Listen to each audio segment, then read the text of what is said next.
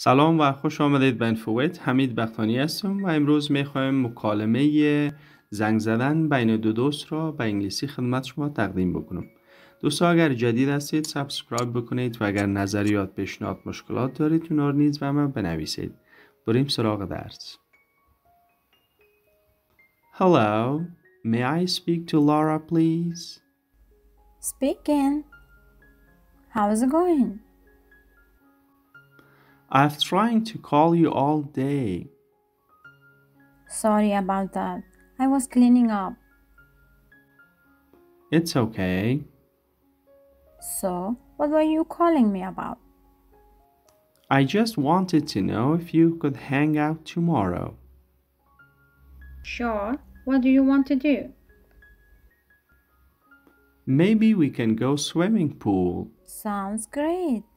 Let's do it. I'll see you tomorrow then. Okay. See ya. Goodbye.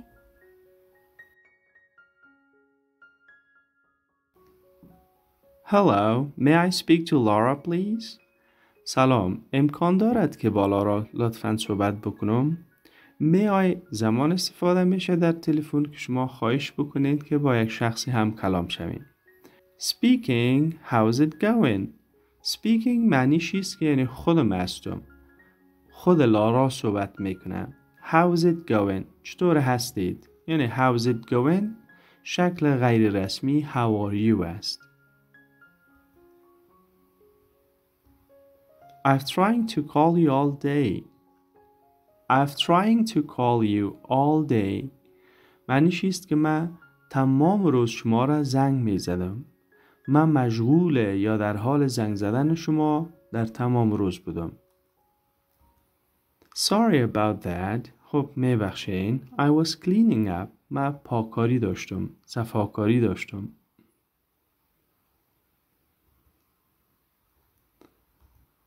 It's okay. خیلی مشکل نیست.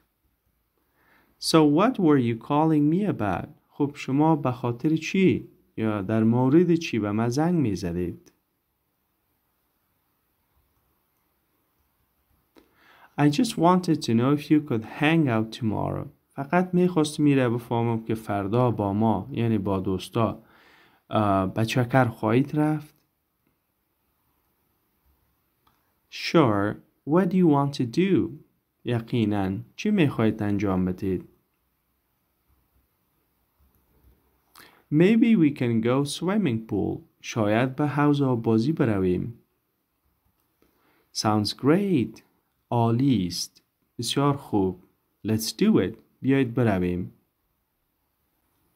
I'll see you tomorrow then. فردا باز خواهیم دید.